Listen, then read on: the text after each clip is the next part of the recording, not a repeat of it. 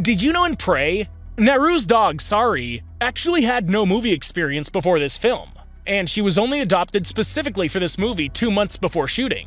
Her real name is Coco, and she's a Carolina dog, which is a rare breed of wild dog that followed the first humans across the Bering Strait thousands of years ago.